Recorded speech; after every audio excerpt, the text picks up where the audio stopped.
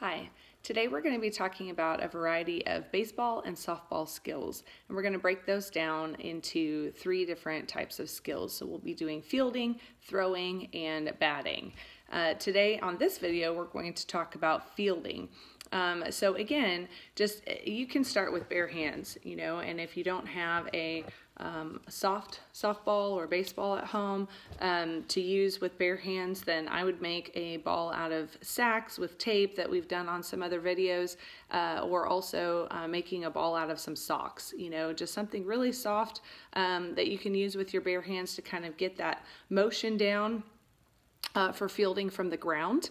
Um, but also, you know, if you do have a glove uh, at home that you can use, uh, then, you know, really trying to get the size of the sport that you may uh, play or the skills, you know, so there's a variety of different things that you can use uh, in order to practice those skills. But the very most important thing to start with is that stance, you know, so when we're being stationary, learning how to field um, and bringing that ball close to us uh, is kind of that stance. So I would suggest, especially for our younger grades that may be watching this, uh, start from your knees so that you can really kind of get that motion with your hands and your arms looking at the ball, tracking the ball, uh, and then getting to your feet. You know, those of you that we've kind of been through this skill before, uh, our older grades here, then go ahead and start from your feet and just get kind of into that repetition and that, that motion. So I'm going to kind of start from my knees like I suggested.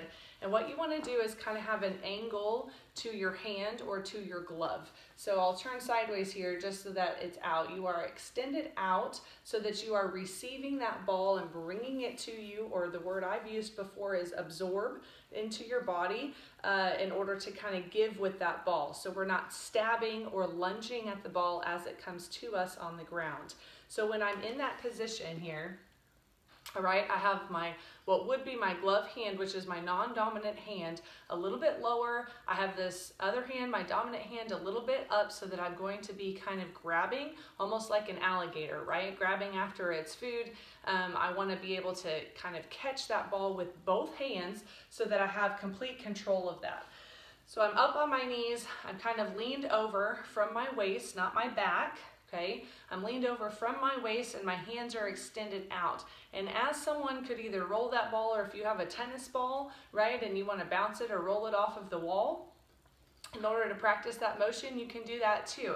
So what I'm doing is, is I'm gripping that ball, and as I bring it to myself, I wanna bring it to my belly button. And kind of, uh, uh, if you're a beginner in this skill, please over exaggerate this, right? Even when I was playing in high school, my coach was talking about just doing that repetition so that when I transfer that into a game, it becomes natural, right? So I'm extending out, I'm bringing that ball close to my belly button and my head is down. Notice you cannot see me looking up. I want to make sure that I'm tracking that ball all the way in. So if I have that ball out here in front of me, I'm bringing it here closer to here so that now I'm going to get ready to throw. So I'm basically I'm not wasting time, right?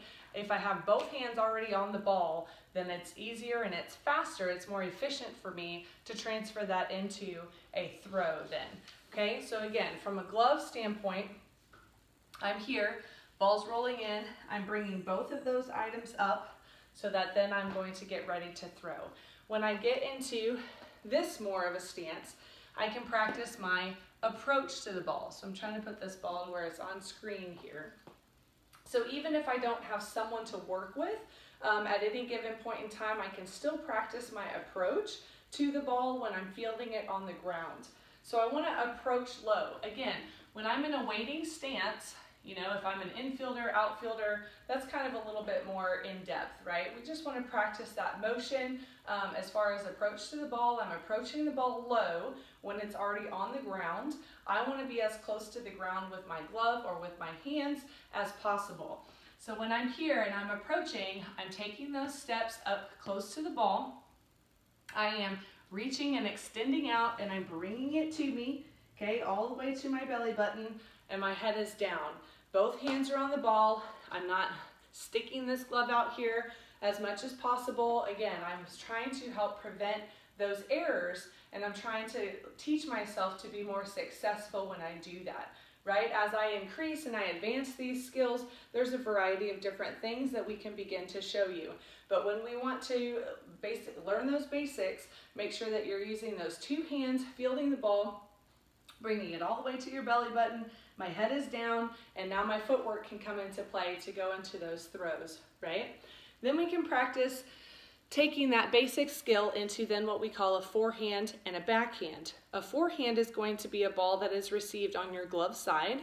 A backhand is going to be a ball that is received on your throwing hand side. So I'm turning my glove over. Again, I suggest kind of starting down from the knees. In this drill right here, you can put one leg out to the side and bend the knee of the forehand side. And what can happen is, is again, either rolling a ball off of a wall or having, you know, someone working with you to where you're rolling it back and forth to each other. Again, my glove is down here. As that ball comes to me, I am bringing it in. I'm putting this other hand and trapping it on top, kind of like that alligator, bringing it up to my belly button. My head is down, and now I'm ready to either roll it back off the wall or roll it to my partner. So that's kind of just receiving it on that forehand side okay? I can do this same drill with my backhand.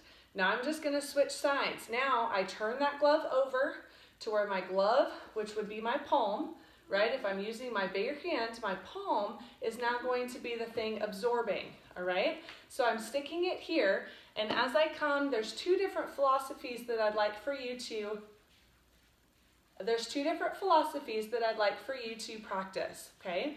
One of them is kind of a scoop towards the ball, right? So as that ball is kind of running towards me, I can scoop it going forwards, all right? And there's also the philosophy of scooping away. So that as I grip that ball, now I'm scooping away, and now my glove can come to my throwing hand, and I'm getting ready to throw that direction, right? So in a, in a game type situation, you might use either of those types of philosophies in normal gameplay. So practicing both of those in a drill type of format, I don't have to move my feet. I can focus in on that fielding and that skill level so that I can become really efficient in both of those and really successful with both of those. Again, when you're talking about the fielding from the ground, what you want to do is really track the ball with your hands and your eyes. Really make sure that you're focusing on bringing that all the way into you. Now, on a fly ball situation, basically the thing you want to remember is moving your feet first, right? So when that ball is up in the air, you want to make sure that you're tracking it, getting behind the ball, and making sure that when I have this up, kind of like when we talked about in our volleyball skills, my hands are up, right? That setting. So I want to make sure that I get either both hands up if I'm using this, and I suggest starting with a really soft ball if you have bare hands on this. So again, that sack type ball with the tape or a ball of socks um, in order to practice this. So just in case you miss it, right? You're not gonna get hit in the head with something that might really hurt you. If you have that glove, you wanna get a little bit more of a firm or start with those socks even if you're um, just learning how to kind of get that ball up in the air and feel confident and comfortable in catching that. But again, I want both of those hands up. I want them above me and I want my eyes being able to track the ball just over my glove or just over my hands. And I want to be behind the ball. I don't want to have to reach behind me in order to catch that ball. Again, just wanting myself to be a little bit more successful in that catch. So Again, you can start from your knees, but you'll have really have to have a nice accurate tosser or be able to really kind of pinpoint bouncing that tennis ball off